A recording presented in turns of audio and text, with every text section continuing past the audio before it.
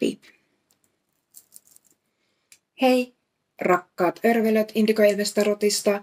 Mä oon Ilves ja tää on nyt tulkinta kaikille elementeille yhteinen Neitsyen uudesta kuusta.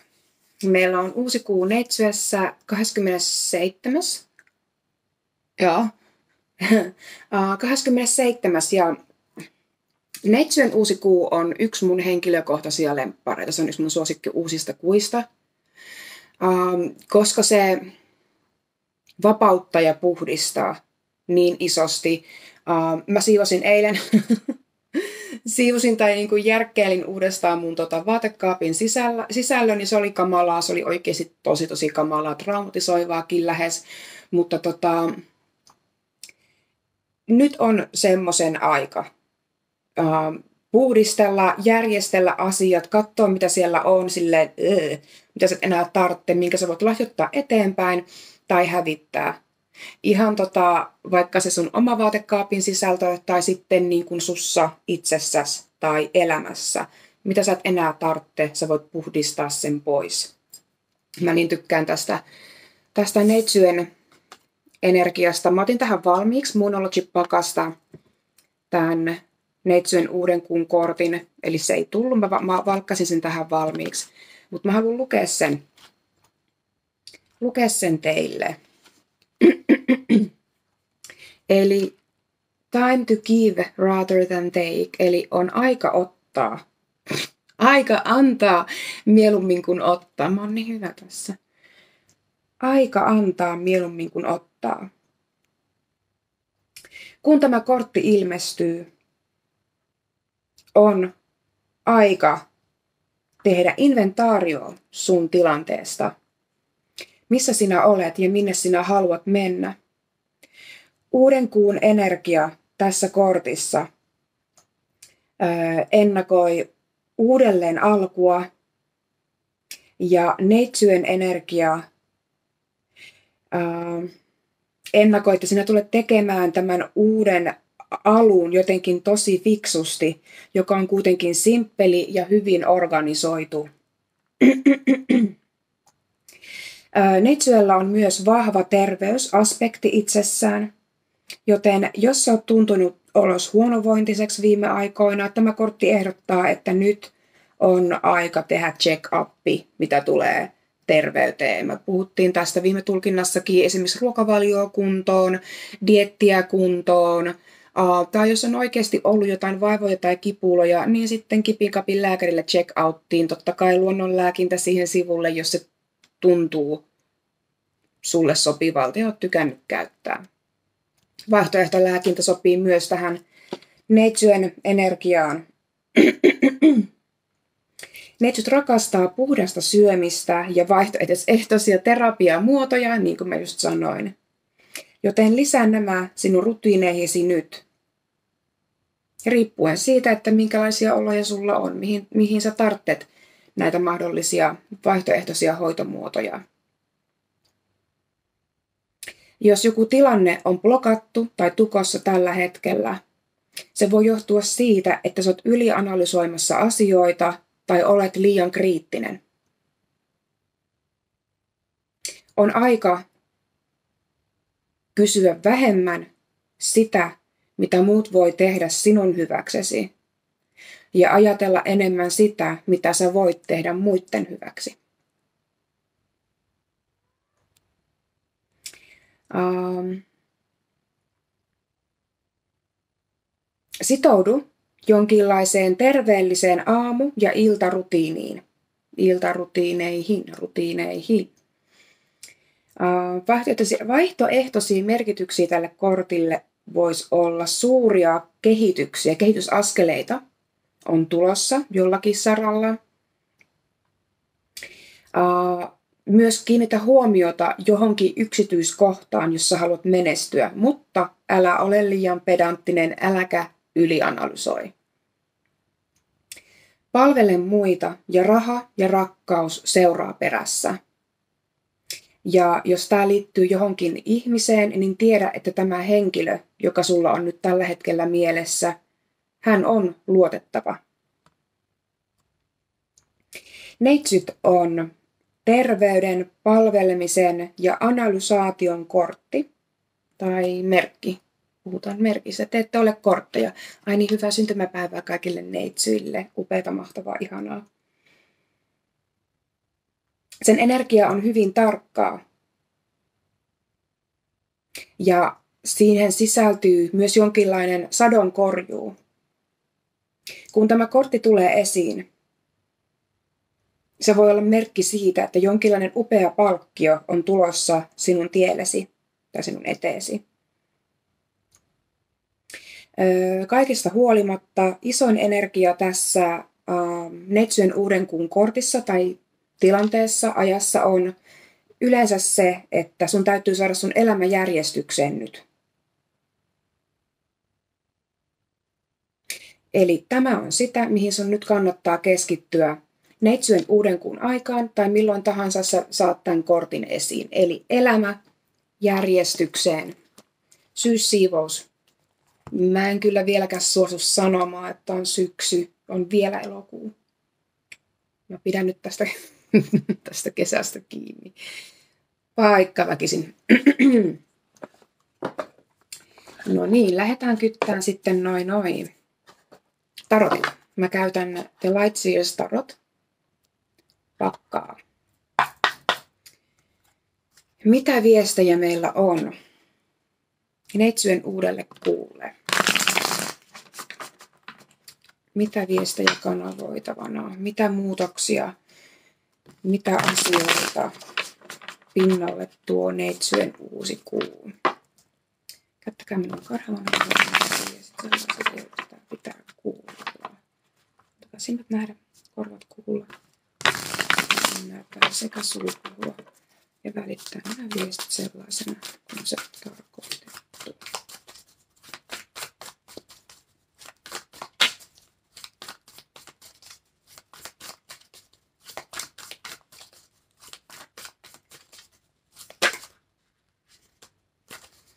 Sauvojen kutonen vilahti.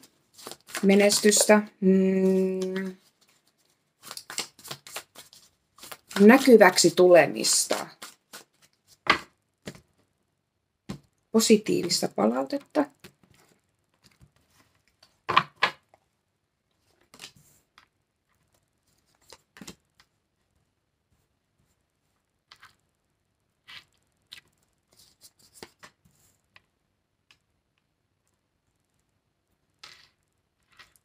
Tämä on tarkkaa nyt, ei ihanaa Lanttien seiskan energiaa, tätä maata. Maan energia on nyt läsnä. Mun tukka huonosti. Käänteinen kohtalon pyörä taas. Olikohan tämä nyt viime tulkinnassa, edellistulkinnassa, kun tuli kohtalon pyörä käänteiseksi. Käänteiseksi taas. Käänteinen sauvojen lähetti. Ja sauvojen kakkonen, valintojen maailma. Eli jotain on kypsymässä. Mä en osaa puhua tänään, sori. Jotain on kypsymässä sun elämässä, jollain sun elämän osa-alueella. Siemenet on istutettu. Ähm, edistystä on jo tapahtumassa. Asiat on kehittymässä ja kasvamassa, vaikka se ei ehkä sun ulkomaailmassa, niin kuin ulkoisessa elämässä, ulkoisessa maailmassa, se ei välttämättä siltä vielä näyttäskään. Mutta niin kuin tässäkin nämä juuret on suuret ja ne kasvaa täällä pimennossa maanpinnan alapuolella. Se kasvattaa juuria ja juur, juurtuu sinne. Tekee itsensä vakaaksi. Tämä voi olla jotain, mitä sä oot manifestoinut tai manifestoimassa tällä hetkellä, vaikka sä et välttämättä näe vielä suuria muutoksia, niin tota, tämä meinaa vähittäistä etenemistä ja kärsivällisyyttä. Maaperä on hedelmällinen nyt sulle ja tälle sun tavoitteelle. Niin malta vielä hetki. Käänteinen kohtalon pyörä, se voi meinata viivästyksiä, blokkeja tai esteitä. Niin kuin puhuttiin nyt tämä neitsyjen uusi se meinaa puhdistamista, tukkojen poistamista uh, elämästä, päästä, sydämestä, ympäristöstä, uh, mitkä on tukossa, mitkä vie vaan turhaa tilaa ja vie sitä tilaa niiltä uusilta asioilta. Mm. Tämä voi puhua huonosta ajoituksesta, väärästä ajasta, esteistä tai haasteista, mitkä tulee blokkaamaan tai mitkä on blokkaamassa tai blokannut sun tietä, polkua tai etenemistä. Tämä voi merkitä jonkinlaista karmista oppituntia. Tämä voi olla yhteys tai joku kokemus, mikä ei välttämättä ole ollut niin kamalan mukava, mutta tota, käänteisenä tämä meinaa tämmöistä jonkinlaista karmista opetusta, mitä oot ehkä käymässä nyt läpi tai oot käynyt läpi. Universumi ei tottele ihmisten keksimää aikaa. Mm, joillekin nämä asiat on voinut tapahtua, joillekin nämä voi olla menossa, mutta yleisesti ottaen nyt katsotaan nimenomaan tätä uuden kuun energioita. Eli joku ei ole mennyt ihan putkeen. Me tarkennellaan nämä, niin mä osaan, osaan kertoa sitten varmaan paremmin. Käänteinen sauvoja lähetti tuli energiaan tässä – Um, inspiraatio, luovuus hukassa. Se voi meinata myös rohkeuden puutetta. Me ollaan puhuttu tästäkin aika paljon, eikö ollakin? edellisissä luennoissa ja näissä kanavoinneissa niin kuin luomisesta, luovuudesta, inspiraatiosta. Se voi olla tukossa nytten. Ja jos sillä nurkissa, mä puhun nyt nurkista vertauskuvallisesti, jos sillä nurkissa pyörii jotain pölypalloja tai sitä äh, homeista vanhaa roinaa, niin se on ihan omiaan tappamaan sen kaiken luovuuden ja inspiraation.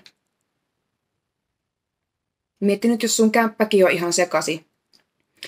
Tiskit on tiskaamatta parilta viikolta ja siellä tällä on likaisia vaatteita ja sukkia ja kaikkea mahdollista, niin se, se laskee mielialaa. Pelkästään se äh, epäjärjestyksessä oleva ympäristö, kun riittää laskemaan mielialaa, niin samalla tavalla tämä, jos sun, äh, sun on epäjärjestystä täällä sydänkeskuksessa tai mielessä, ajatuksissa, niin sillä on ihan sama vaikutus. Se jumittaa, se tukkouttaa, se pyörittää vaan sitä semmoista matalalta värähtelevää energiaa, eikä susta sitten ole luomaan tai antamaan tai tekemään mitään. Tämä voi Tämä on taas joillekin viesti. Tämä voi edustaa sun elämässä olevaa ihmistä, joka myös käyttäytyy tällä tavalla. Näitä negative nelityyppisiä ihmisiä, uh, kun ei, ei jaksa, ei osaa, ei pysty, ei kiinnosta. niin kuin tämä tämmöinen niin kuin hyvin negatiivisesta paikasta lähestyvä, lähestyvä ihminen, joka niin kuin kaikkeen. Ja se on tosi turhauttavaa, jos sun elämässä on tämmöinen. Tämä voi olla myös sinä, aina, aina on peilin katsomisen paikka, mutta tämä voit olla myös sinä, että mutta jos sä huomaat sun elämässä jonkun, sinä tai joku muu, joka, jonka seurassa on vähän raskaassa, kun mitä tahansa tälle ihmiselle yrittää antaa ähm, tukea tai neuvoa tai jotain ideoita, niin se on aina, että ei, en mä, en mä jaksa, en mä sitä, ei kiinnosta. Sitten silleen, okei, no mä en voi tehdä tätä sun puolesta – mä pystyn neuvomaan sua olemaan tukena ja rinnalla, mutta tota, sun on itse tehtävä asialle jotain. Siivoo vaikka ne nurkat. Toisaalta on täysin ymmärrettävää, jos täällä on ollut haaste haasteen perään, blokki blokin perään, joku vastoinkäyminen toisensa perään, niin se nyt on enemmän kuin tarpeeksi viemään vähän tätä tämmöistä uskoja jaksamista siihen tulevankaan tekemiseen. Ja siksipä me ollaankin Sauvojen kakkosen myötä uh, tienhaarassa valinnan paikka. Minkä sä valitset pitää, minkä sä valitset pistää kiertoa, minkä sä valitset uh, hävittää sun elämästä. Tämä valinta on hyvin selkeä. Tässäkin kortissa hän on jo valinnut tämän toisen sauvan. Tämä toinen sauva se lojuu niin kuin unohdettuna tässä seinää vasten ja hän pitää kiinni tästä toisesta sauvasta ja katsoo sitten tuonne ikkunan eteenpäin.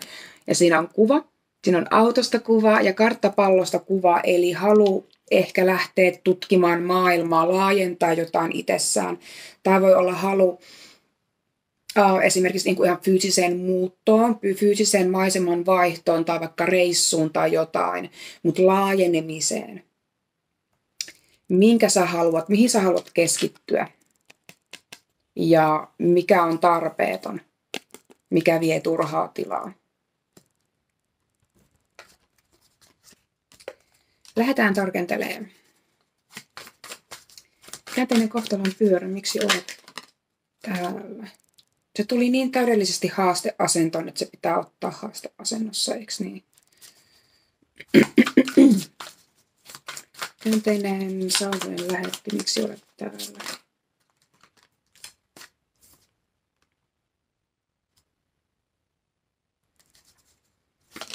No niin.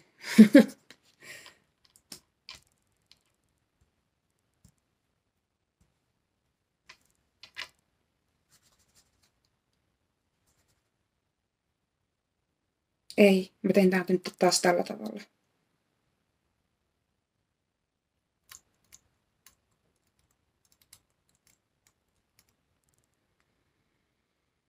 Hmm, joo, me tehdään tää näin. Mä haluan tehdä sen käänteisen pyramidin. Se auttaa mua hirveän paljon näkemään asioita ja yhteyksiä syvemmin. No niin. taas haasteessa. Hmm. Vakan pohjalle jäi tänne nytten aurinko. Kasvua, kehitystä. Tämä nyt ei näytä hirveästi pyramidilta, mutta mä tiedän, että se on pyramidi. Se riittää. Käänteisen kohtalon pyörän ja käänteisen saavujen lähetin väliin tuli hirtetty mutta se tuli niin täydellisesti haasteasentoon, eli ei oikeinpäin eikä käänteiseksi, niin mä luotan se haasteena. Kalojen kortti. Jumiutunutta energiaa. Hirtetty on jumissa. Se on napattu tai nappaantunut tonne katon rajaan. ei pääse liikkeelle. Tämä puhuu taas ehkä jonkinlaista uhrauksesta, uhrautumisesta. Tästäkin oli puhe viime tulkinnassa, eikö ollutkin? Mun mielestä oli. Mutta tota, nämä näennäiset vastoinkäymiset, ne on ollut vastoinkäymisiä joo, mutta mä sanon näennäiset sen takia, että tota, sä oot ehkä ollut lähestymässä jotain asiaa, uh, jonkinlaista jonkinlaista valintaa olet ollut tekemässä, tekemässä, kulkemassa jonkinlaista polkua, mikä ei sitten ehkä ole ollut sun korkeimmaksi parhaaksi. Koska joskus meille heitetään vastustuksia vastustuksien perään. Tie nousee pystyyn koko ajan sen takia, että se on sitten niin kuin, no, vinkkejä siitä, että tämä ei nyt ehkä ole se tie, mitä sun on kuljettava. Eli jos tämä ei herätä sussa kipinää, jos sä teet jotain rutiinista, tottumuksesta, mihin tämä sitten sulla voi liittyä, vaikka työrintamaan tai ihmissuhteisiin tai johonkin omaan projektiin, tai vaan olemiseen, henkiseen kasvuun, jossa tuntuu, että sä oot vaan jumissa ja asiat, ne ei vaan niin kuin lähde rullaamaan, niin silloin on ehkä syy. Silloin on ehkä syy, että sä näet ja ymmärrät tämän tilanteen, että tämä ei ehkä nyt olekaan sitten se polku, mitä mun on kuljettava. Haasteena on, että kykenetkö sä vapauttamaan itsesi tästä tilanteesta – Sä kykenet vapauttamaan itsesi tästä jumista, jos sä hyväksyt ja sallit sen sun oikean polun avautua sulle. Koska mä luulen, että sä oot saanut paljon um, synkronismeja, paljon viestejä ja enteitä jostain toisesta polusta tai toisesta tiestä, mutta sä oot ehkä jättänyt niitä huomiotta jollain tavalla –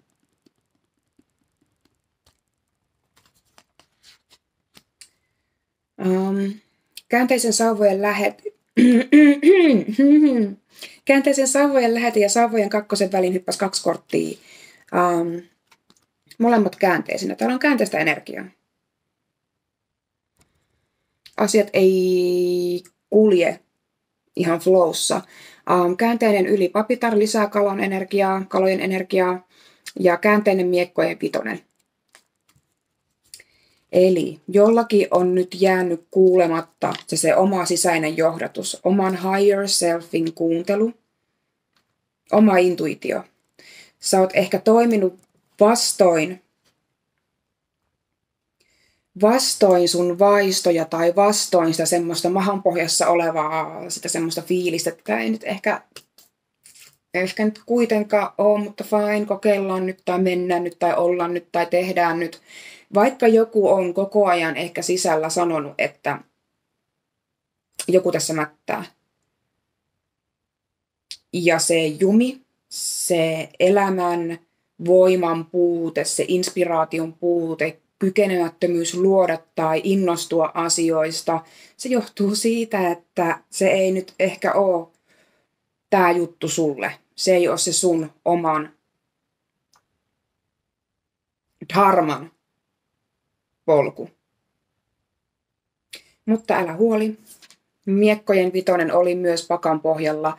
Ei ollut pakan pohjalla, mitä vittua. Se oli käänteisen käänteisenä miekkojen vitonen, eli tota, tämä meinaa selkeyttä, selkiintynyttä mieltä.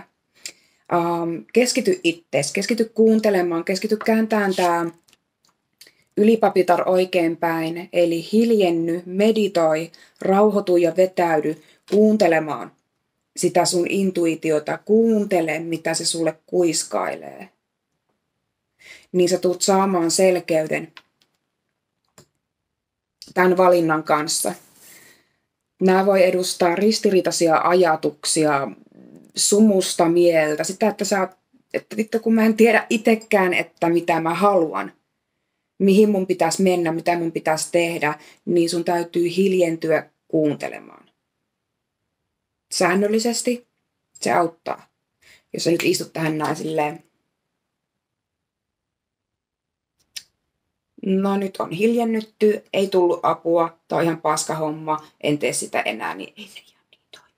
Siihen pitää, se on vähän niin kuin liha, sitä pitää kouluttaa. Ja se tieto tulee ihan varmasti nousemaan susta itsestä. Ja kun sä äh, kiinnität huomiota, sä tulet saamaan ohjausta myös henkioppailta ja universumilta itseltään. Pyydä apua, pyydä ääneen apua ja johdatusta. Ne tulee auttamaan sua mutta sulle tulee selkenemään tämä sun valinta.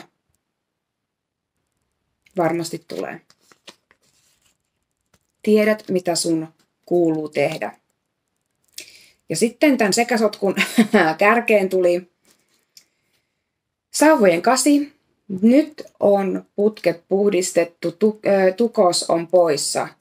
Ja haasteasento on sauvojen kolmonen. Mä vähän odotin, että me nähtäisiin tätä sauvojen kolmosta. Se tuli haasteasentoon tämäkin. Mutta tota, paloa, etenemistä, liikettä. Sauvojen kasi meinaa tätä kaikkea. Eli se, missä on ollut blokki, tukos, jämähtänyttä, ummehtunutta ilmaa, ummehtunutta energiaa, asiat lähtee liikkeelle. Asioita alkaa tapahtumaan ehkä jopa tosi nopeasti silleen, monia asioitakin. Tai meinaa liikettä, etenemistä, puhetta, kommunikointia, ideoita, asioita, mitkä on tulossa sua kohti myöskin. Sauvojen kolmonen puhuu laajenemisesta, visiosta, haaveista, manifestoimisesta ja halusta saada, löytää jotain isompaa, jotain enemmän, mitä on sulle ihan vain sua varten tarkoitettu. Mutta tämä on haasteena. Mä näen täällä, että se mitä sä haluat, täällä on ristiriitoja sen kanssa. Mieli ja sydän voi olla tosi, tosi mutkikas tai ne ei voi, vaan ne on tosi mutkikkaita vempeleitä. tässä ihmiskehossa, mutta tota, tämä hiljentyminen ja tämän ylipapittaren energian virittäytyminen auttaa. Myös jonkinlainen irtiotto, pysähtyminen ää, tähän omaan hetkeen, tähän nyt hetkeen, niin se auttaa, se tuo sulle tätä selkeyttä. Voi olla, että se joudut tekemään myös uusia suunnitelmia. Uusia suunnitelmia, mm, mitä tulee ehkä sun aikaisempiin haaveisiin tai toiveisiin tulevaisuudessa. Ne voi muuttua. Se on ihan täysin normaali ja ok, jos sun haaveet tai unelmat muuttuu tai tavoitteet muuttuu. Niin sä tarvitset nyt tätä aikaa ja kärsivällisyyttä. Tunnistaaksesi sen, tunnistaaksesi ne sun oikeat haaveet ja ne sun unelmat siellä, ne oikeat vilpittömät haaveet ja unelmat, mitkä on sua varten. Anna itsellesi aikaa. Nyt ei ole aika kiirehtiä yhtään mihinkään. Tee sitä ö, siivousta. Käytä tämä ihana upea neitsyön uuden kuun energia. ö, tähän tarkoitukseen ja puhdista mieli, puhdista sydän, puhdista nurkat. Ja oo kärsivällinen, sulla on tosi hedelmällinen maaperä kasvattaa ja manifestoida ja luoda kaikki se, mitä sä haluat, kunhan sä saat selville, mitä se on, mitä sä todella haluat tällä hetkellä. Ja vaikka tuntuu, että mitään ei ehkä nyt 3 d sulle näykään, niin tiedä, että ne on kasvattamassa juuria ja ne tulee vielä pinnalle. Että tiedätte. No joo. Katsotaan. No mehän katsotaan Wisdom of the Hidden Realms orakelista jälleen. Tää on aivan upea pakka. Upea pakka. Mitä viestejä? Neitsyen uusi kuu. Elokuussa 27. päivä. Mitä viestejä tämä energia meille tuo? Mitä muutoksia, ohjausta, neuvoja? Neitsyen uusi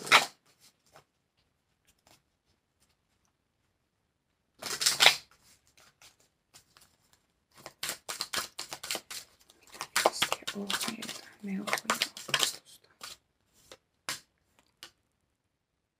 The Altar Priestess, alttari papitar, valmistelua, rukoilua, pyhä rituaali. Wow. Ja hän tuli liittolaisasennossa. Pakan pohjalle jäi The Sun Dancers, aurinkotanssijat, elämän juhlimista ja yltäkylläisyyttä. Joo, numero 39. Liittolainen, alttaripapitar.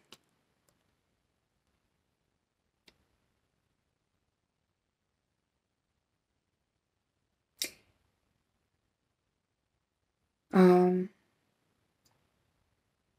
alttari on valmistettu tai lava on valmistettu ja maailma on odottamassa sinua ottamassa oman paikkasi pyhässä meditaatiossa ja rukouksessa. Puhuttiin tästä meditaatiostakin. Liittolaisena alttari papitar tuo interaktiivisen rituaalin toimimaan yhdessä maallisen maailman kanssa –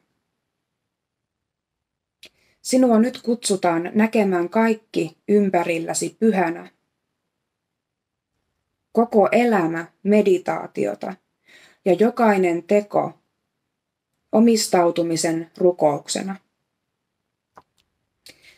Kun olet kykenevä tarkkailemaan maailmaa tällä tavoin, sinun kysymyksesi tulee johtamaan sinut oikean vastauksen luo.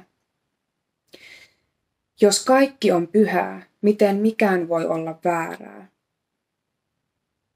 Kysy, kuinka sinä voit muuttaa tietoisuuttasi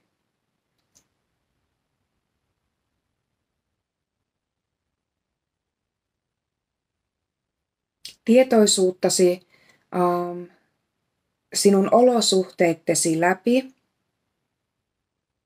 näkemään ne jumalallisin silmin. Ja sinä tulet huomaamaan, kuinka täydellistä ja pyhää kaikki on juuri nyt. Eikö ne ole ihan upeat kortit? Eikö ne ole ihan upeat kortit?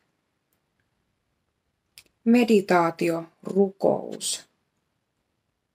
Näe kaikki jumalallisin silmin. Näe kaikki rukouksena, koko elämä meditaationa.